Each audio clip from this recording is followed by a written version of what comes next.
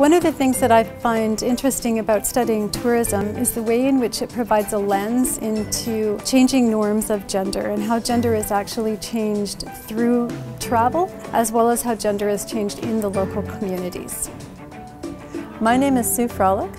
I'm a professor of anthropology and gender and women's studies in the Community Culture and Global Studies Department at the University of British Columbia, Okanagan.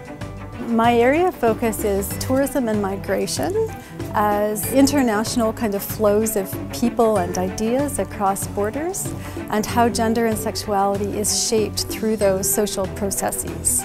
I do collaborative research.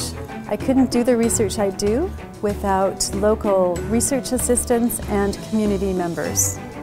Part of what I love about my job is the ability to go different places. So my doctoral research was in Nepal, for example, but at the same time, I don't want to glorify the travel because actually part of my research is a critique of the ways in which travel presents these inequalities.